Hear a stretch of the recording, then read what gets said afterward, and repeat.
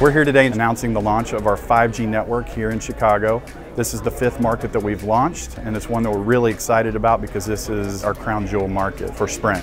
So as we've started to load the markets with 5G, the other four that we've announced, what we're seeing is that customers are getting a better average experience. They're able to do the things that they do and love every single day, but they're able to do them better.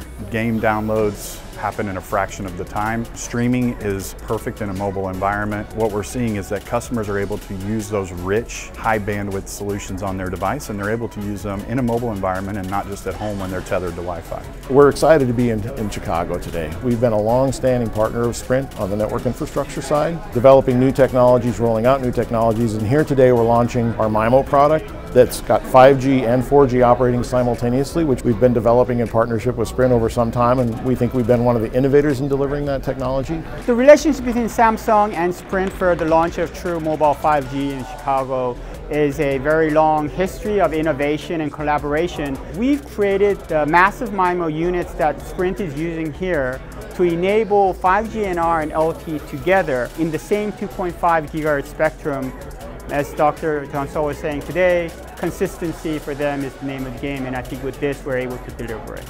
Well, the real value proposition behind Sprint's 5G network is coverage and mobility. We're able to build out in contiguous clusters so that customers can grab 5G where they need it, and then they can use 5G in a mobile environment, on the go and otherwise.